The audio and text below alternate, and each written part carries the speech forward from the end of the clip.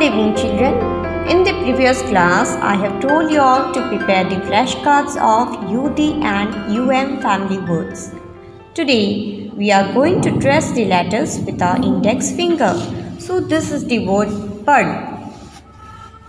B A D bird.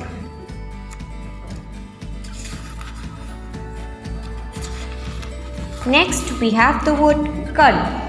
K A D cud.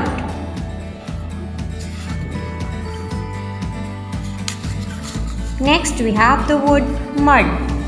Um A D mud. Next we have the word gum. G A um gum. Next we have the word hum. H a um hum. Next we have the word mum.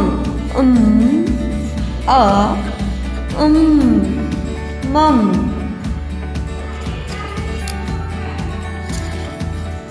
Next we will have the word some. S a um some.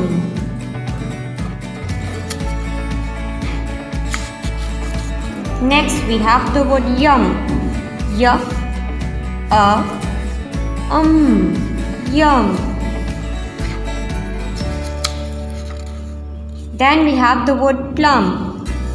P l a um plum. And last we have the word drum.